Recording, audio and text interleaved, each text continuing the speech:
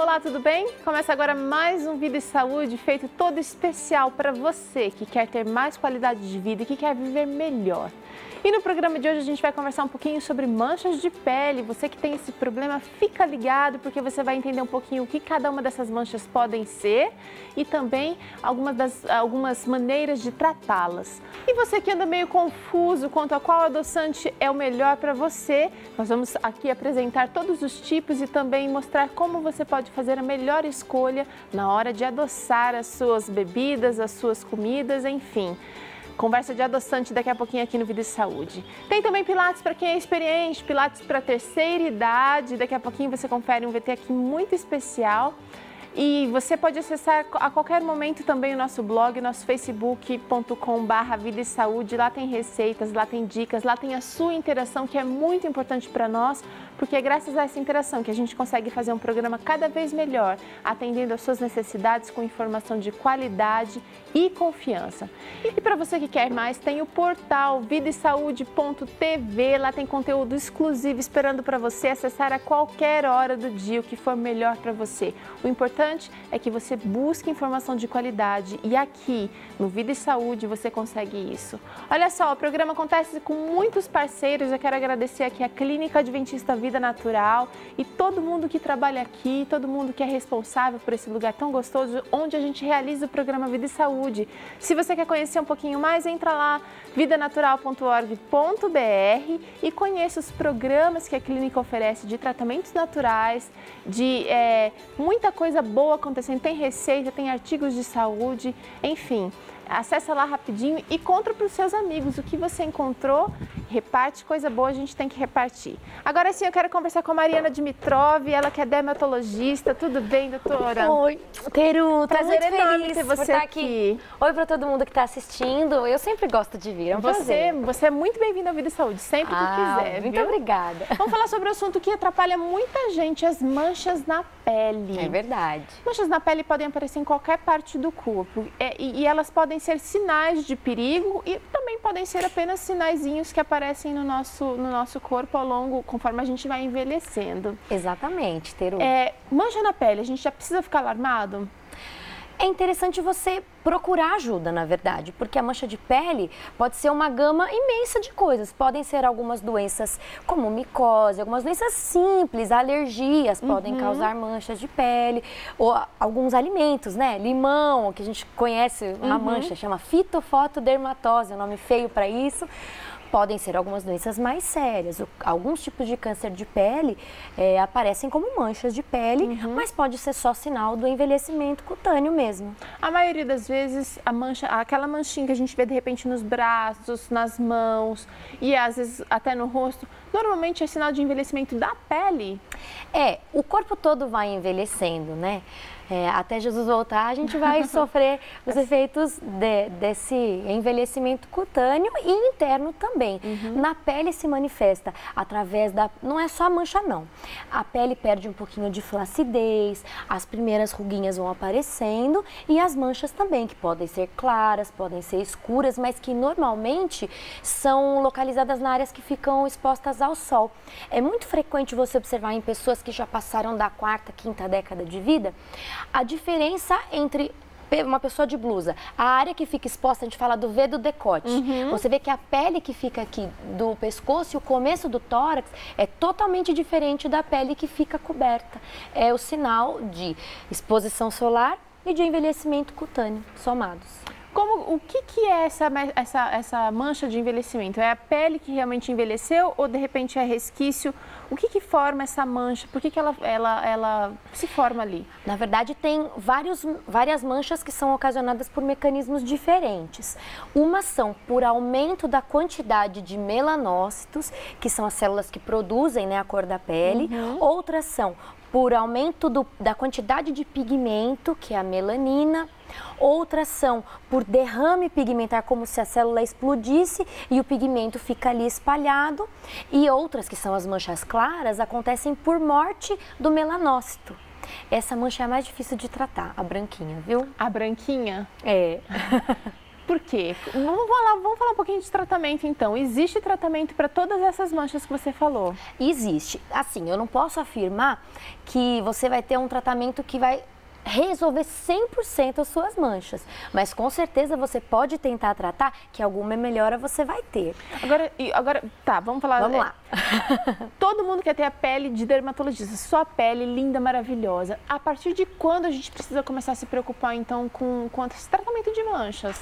Ah, muito jovem. A partir da, dos 23, 25 anos já é recomendável já tem coisa que, se, disponível. que se é, que se comece um tratamento, pelo menos com o uso do protetor solar e a partir do, dos 28, 30 a gente já inicia com algumas coisas que são para tratamento mesmo. O envelhecimento da pele, o envelhecimento interno e que se reflete na pele, começa a acontecer de verdade a partir dos 30 anos essa faixa etária tem que começar a visitar os médicos, viu?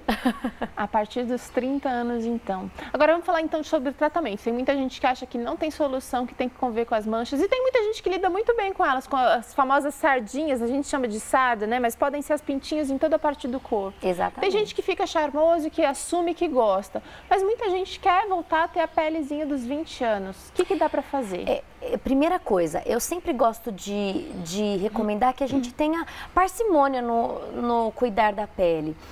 A gente não consegue parar o envelhecimento. Uma pessoa de 40 não vai voltar a ter 20. Mas eu acho que é válido a gente procurar ser uma pessoa de 30, 40, 50, o melhor que nós pudermos. Sim. Que sejamos de 30 ou, entende? O melhor que nós pudermos. E o que, que nós podemos fazer por isso? Normalmente a gente inicia com. Precisa marcar consulta uhum. com, com o dermatologista e começar com tratamentos inicialmente com cremes. Cremes que são rejuvenescedores e cremes que são clareadores. Até comentei com você um pouquinho antes de começar o programa, para esse assunto específico eu não recomendo que se faça tratamento natural. Tratamento em casa? É, eu não recomendo que se trate as manchas em casa. Por porque quê, assim, Mariana? os clareadores são a base de, de alimentos como cebola, como limão, é, até a própria mamão e outras coisas, a babosa. Mas todas essas substâncias, especialmente num país como o Brasil, em que a gente tem exposição solar e radiação ultravioleta, pode acontecer o efeito contrário. Se você não faz o tratamento adequadamente, você pode causar manchas, como até falei no comecinho do programa, ao invés de tratar manchas. E uma mancha na pele, por exemplo, como uma mancha de limão, gente, demora às vezes ano, um ano inteiro para sair. E, e, eu imagino que outras manchas mais severas realmente é, o tratamento de repente seja muito mais longo. Com o tratamento médico, Teru, a gente consegue dosar. É claro, todo remédio vem de, de alimentos, uhum. vem de plantas, mas a gente consegue dosar em quantidades muito pequenas e fazer um início progressivo antes eh, testar o que vai bem em cada pele, porque o produto que serve para você não vai servir para mim Exatamente. e para outras e para quem está nos assistindo.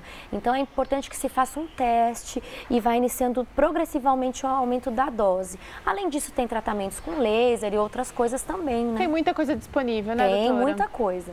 Olha, você que está precisando se cuidar, então não adianta querer inventar moda, fazer coisa em casa. Procure um especialista. É para isso que vocês estudam, é para isso que vocês isso existem, para nos ajudar a resolver esses problemas. E a pele é um órgão, é o maior órgão do corpo. Isso mesmo. Precisa de muito cuidado. Isso mesmo. Cuidado principal e básico que todo mundo pode ter, que a gente vai falar durante essa semana, qual seria? Bom, primeira coisa, eu recomendo que você viva saudável. Se alimente bem, beba água, durma cedo, mas se você quer usar externamente alguma coisa para prevenir o envelhecimento, é protetor solar. Protetor solar. A gente vai falar mais sobre isso durante essa semana. É Olha só. Aí.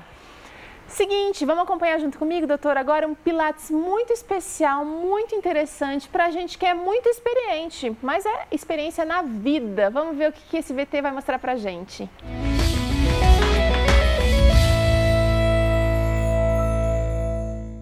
Uma das novidades quando se fala em exercício físico é o famoso Pilates. Hoje em dia é um esporte muito indicado para as pessoas idosas. Agora você acompanha nessa matéria os benefícios do Pilates para a terceira idade.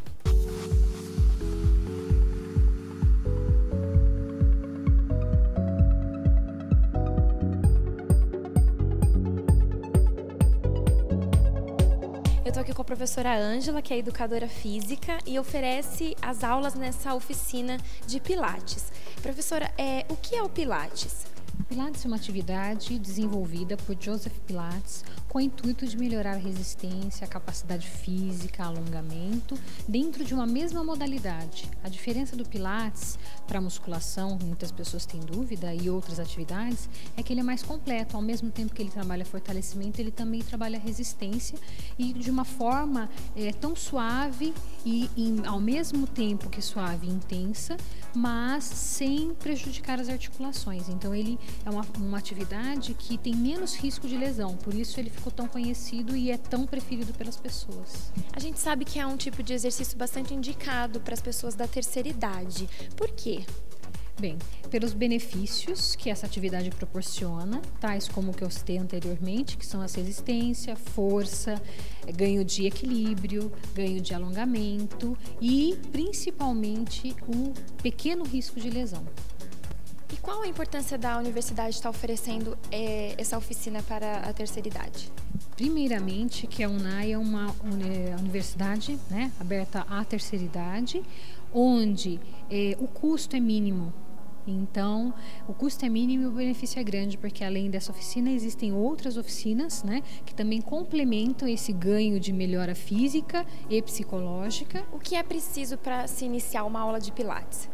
Para se iniciar a atividade do Pilates, fundamental é a atividade física, é o atestado médico, né, para participar de uma, qualquer atividade física.